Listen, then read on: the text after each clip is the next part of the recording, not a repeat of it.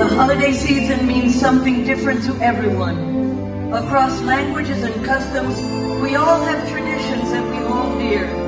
We pass them down and share them with one another at every opportunity because ultimately, the message at the heart of all our celebrations